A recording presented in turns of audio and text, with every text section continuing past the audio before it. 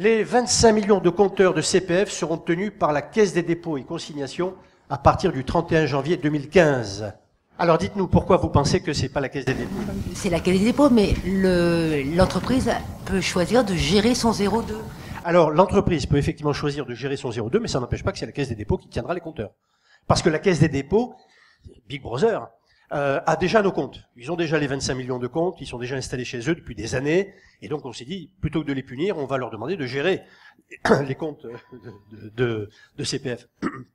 Et donc ils vont gérer les comptes, ce qui fait qu'il n'y aura pas de litige, puisque je garde mon compte de CPF si je deviens fonctionnaire, si je suis au chômage, si je crée une entreprise, si je redeviens salarié, bref, il va me suivre. Et la seule institution qui sera garante des compteurs, eh bien c'est la Caisse des dépôts et consignations.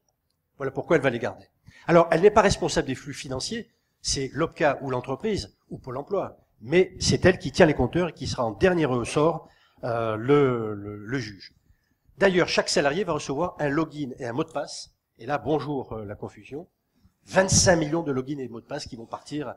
Euh, bah, il va falloir quelques années quand même pour que tout le monde se souvienne de son login et son mot de passe. Comment ça se passe? L'entreprise va devoir déclarer à la Caisse nationale euh, des dépôts tous les chaque année les salariés ont, ont fait comme euh, formation? Non, alors au départ, là, au 31 décembre 2014, tous les compteurs de DIF, de, de DIF actuels vont devoir migrer à la Caisse des dépôts et consignations. Vous aurez un formulaire. Pour ceux qui ont un SIRH, ben, vous transformerez tout ça en Excel et vous l'exporterez directement à la Caisse des dépôts, donc pas de souci là-dessus. D'ailleurs, si vous travaillez sur Excel, ce sera facile parce que vous enverrez votre, vos compteurs Excel. Mais au 31 décembre, dernier délai, le 31 janvier 2015, mais on est en France, donc ça sera reporté encore de 2-3 mois, mais quand même, 31 janvier 2015, tous les compteurs sont détenus par la Caisse des dépôts.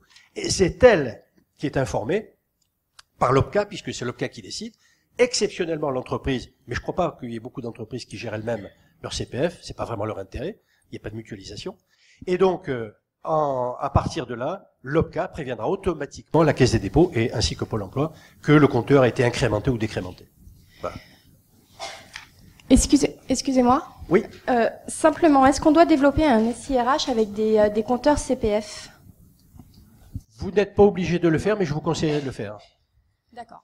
Parce que ça vous permettra de prouver par la suite que votre salarié, par exemple, a bien euh, suivi des formations, et en particulier des formations qui l'ont maintenu dans l'employabilité, ça pour éviter des litiges ou des contentieux. Donc il y a quand même intérêt à les suivre.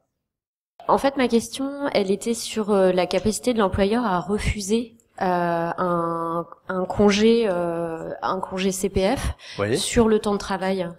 Ah ben, si sur le temps de travail, il fait ce qu'il veut. À partir du moment où il n'a pas signé un accord avec les partenaires sociaux ou qu'il n'y a pas d'accord de branche, il refuse toutes les formations, s'il le veut, qui ont lieu dans le temps de travail. En revanche, si euh, donc s'il n'y a pas d'accord, ben, il dit non. S'il y a un accord, ben, il dit oui. Ah, Donc c'est un peu le même fonctionnement que le DIF finalement. Oui, sauf que là, il y a de l'argent.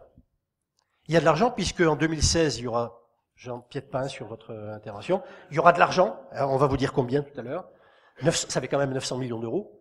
Plus les abondements, il y a à peu près 2 milliards d'euros sur le CPF, alors qu'il y avait zéro, zéro euro, sauf quelques branches, sur le TIF. Là, il y a 2 milliards d'euros pour financer le CPF.